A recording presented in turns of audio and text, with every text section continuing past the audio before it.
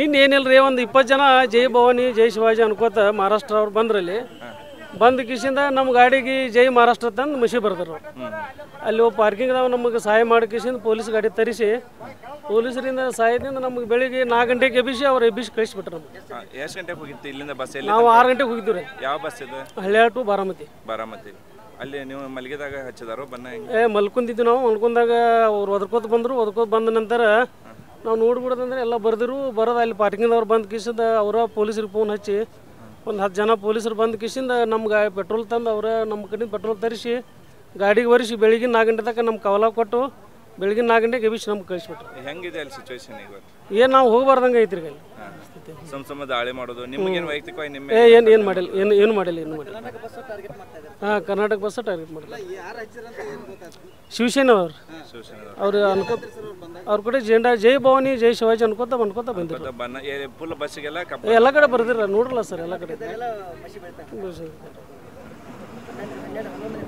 ರಾತ್ರಿ ಹತ್ತು ಮೂವತ್ತು ಈಗ ಎರಡು ರಾಜ್ಯ ಇವ್ರ ಪುಂಡಾರಿಗೆ ಸಲ ಎರಡು ಜನ ಹೈರಾಣ ಆಗುವಂತ ಪರಿಸ್ಥಿತಿ ನಿರ್ಮಾಣ. ಐತೆ ಯಾಕಂದ್ರೆ ಮಹಾರಾಷ್ಟ್ರದಾಗ ಸಾಕಷ್ಟು ಜನ ಕರ್ನಾಟಕ ಬಸ್ನಾಗ ಹತ್ತಾರ. ಅದ್ರ ಬಗ್ಗೆ ನಮ್ಮ ಗಾಡಿಗೆ ಜನ ಮಹಾರಾಷ್ಟ್ರ ಜನ ನಮ್ಮ ಗಾಡಿಗೆ ಹತ್ತಾರ ಏನು ಮಾಡುದ್ರಿ?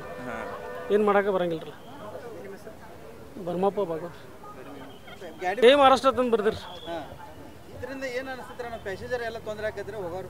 ಏನು ಗಾಡ್ಯಾಗ ಯಾರು ಕಲ್ಲಿನ ಬಂದಿವಿ ನೋಡ್ರಿ. ಹಾಂ. ನಿಪ್ಪಾನಿಂದ್ರ ಶೀಟ್ ಹಾಕೋದ್ ಬಂದಿರಿ ನಿಪ್ಪ ಬಾರಾಮತಿಯಿಂದ ಖಾಲಿ ಎಂಟಿನ ಬಂದಿರಿ ಬಸ್. ಬಸ್ಸಿ ಬಿಡ್ತಾರೆ ನೋಡ್ರಿ. ಬಾರಾಮತಿ ಬಸ್ ಸ್ಟ್ಯಾಂಡ್ದಾಗ ಒಂದು ಹತ್ತು ಹನ್ನೆರಡು ಜನ ಬಂದಿದ್ರು. ನಮ್ಗೇನು ಅಂದಿಲ್ರಿ ಅವ್ರು? ನಮ್ಮನ್ನ ಮಾತಾಡ್ಸಿಲ್ಲ ಅವ್ರು.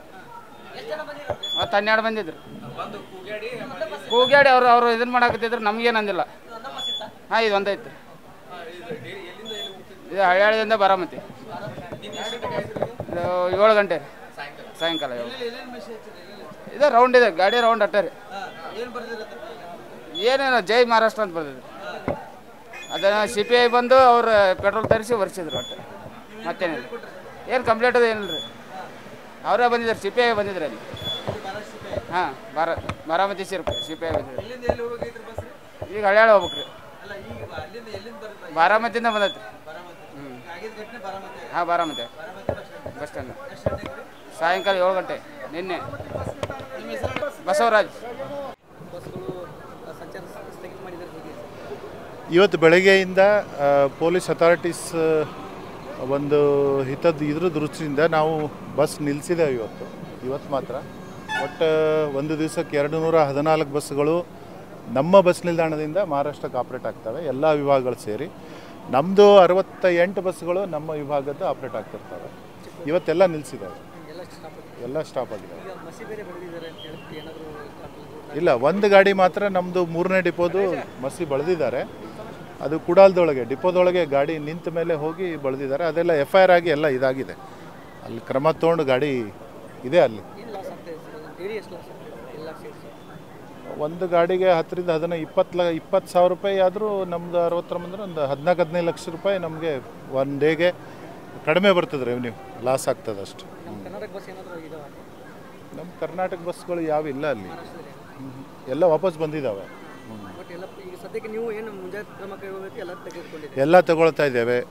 ಪೊಲೀಸ್ ಡಿಪಾರ್ಟ್ಮೆಂಟಿಂದ ಏನು ನಮ್ಗೆ ಇನ್ಸ್ಟ್ರಕ್ಷನ್ ಬರ್ತದೆ? ಇಂಟೆಲಿಜೆನ್ಸಿಂದ ಏನು ಬರ್ತದೆ?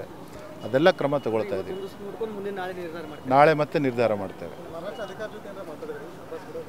ಅವರು ನಮ್ಮ ಹಾಗೇನೆ ಪೊಲೀಸ್ ಅಥಾರಿಟಿಗಳು ಏನು ಡಿಸಿಷನ್ ತಗೊಳ್ತಾರೆ ಯಾಕಂದರೆ ಜನರ ಹಿತದೃಷ್ಟಿಯಿಂದ ಯಾವುದೇ ಇದು ಇದಾಗಬಾರ್ದು ಅನ್ನೋ ಒಂದು ಹಿತದೃಷ್ಟಿಯಿಂದ ತೀರ್ಮಾನ ತಗೊಂಡಿರ್ತಾರೆ ಅದನ್ನು ಫಾಲೋ ಮಾಡ್ತಿರ್ತೇವೆ.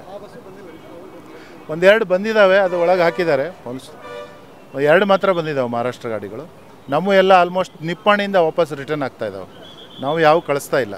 ಇವತ್ತೆಲ್ಲ ಬಂದಾಗಿದ್ದಾವೆ.